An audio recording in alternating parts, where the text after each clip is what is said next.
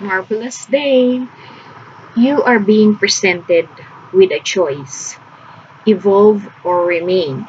If you choose to remain unchanged, you will be presented with the same challenges, the same routine, the same storms, the same situation until you learn from them, until you love yourself enough to say no more, until you choose change.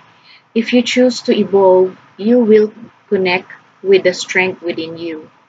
You will explore what lies outside the comfort zone. You will awaken to love. You will become. You will be. You have everything you need. Choose to evolve. Choose love. Marvelous day.